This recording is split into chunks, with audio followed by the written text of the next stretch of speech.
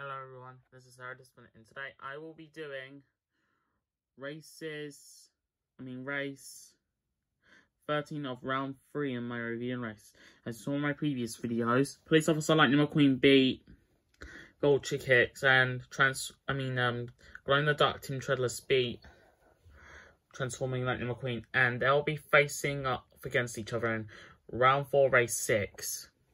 And now here are the first now here are race 13's competitors. Francesco Bernoulli. He's got red, white and blue everywhere. A one on his hood with the Italian flag. One on both sides. Rotelli tyres on both sides. World Grand Prix on the spoiler and he's a Formula One race car. And here's his opponent. Jimbo. He's got dark red paint everywhere a 13 on both sides and roof, and a wanted sign on the back, brown rims and black tyres. And here's the track. Same rules as every video.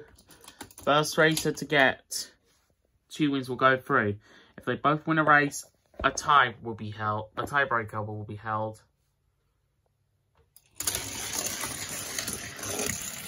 Jimbo wins.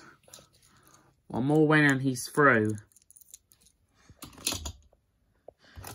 If Francesco doesn't win this race, he's out for good.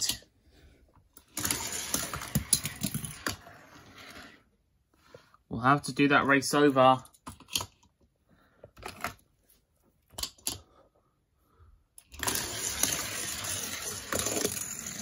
Jimbo will be moving on to round 4, race 7.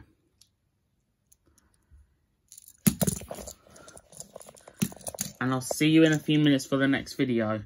And it will be in between George Newin and RV. I'll see you in a few minutes. Guys, bye. And make sure to like and subscribe if you haven't already.